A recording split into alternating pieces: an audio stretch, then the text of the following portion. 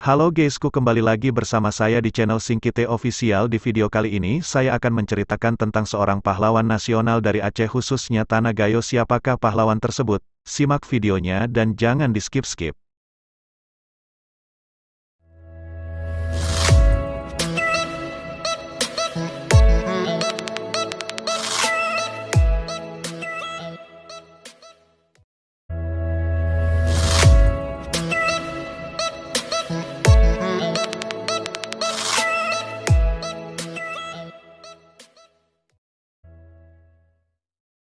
Kisah Aman Dimot, pejuang kebal peluru yang diharap jadi pahlawan. Di Aceh, ada sejumlah nama yang telah tercatat di lembar negara sebagai pahlawan nasional. Sebutlah Cut Nyadin, Malahayati, Panglima Polim, serta sejumlah nama lain. Namun, masih ada tokoh dari dataran tinggi Gayo yang dianggap layak mendapatkan gelar pahlawan nasional. Keberanian dan kemampuannya dalam perang gerilya melawan penjajah Belanda pada tahun 1940-an sangatlah berbeda dengan kemampuan pahlawan lain yang telah gugur di medan perang.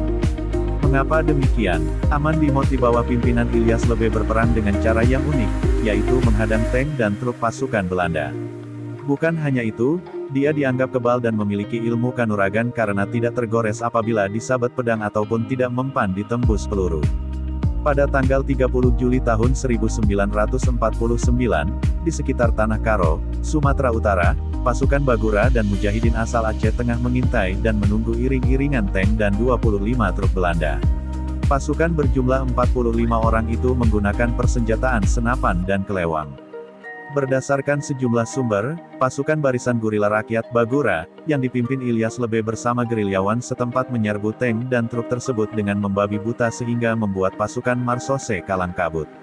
Satu dari puluhan serdadu tersebut bernama Abu Bakar yang dijuluki dengan Pang atau Sang Pemberani Aman Dimot.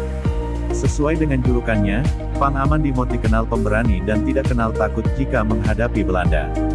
Bahkan, Pemuda itu tidak gentar walaupun dalam keadaan perang terbuka atau perang jarak dekat.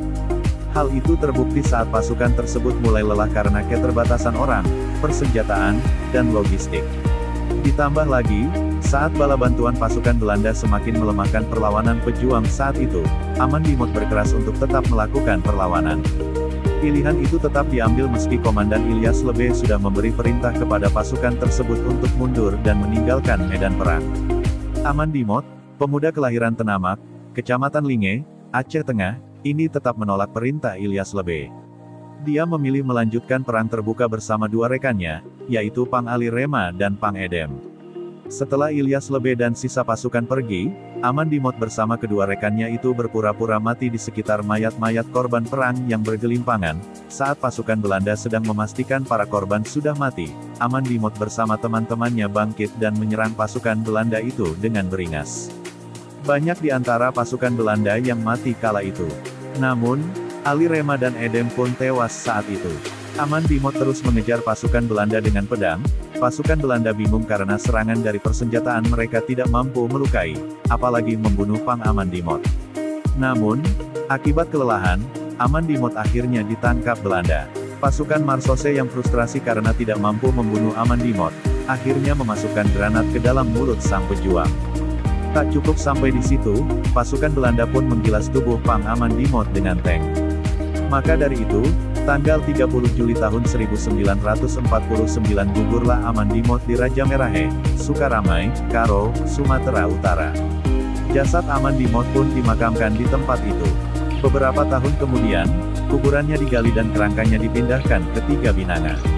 Jasad Aman Dimot selanjutnya dimakamkan di Taman Makam Pahlawan Kabanjahe, Sumatera Utara.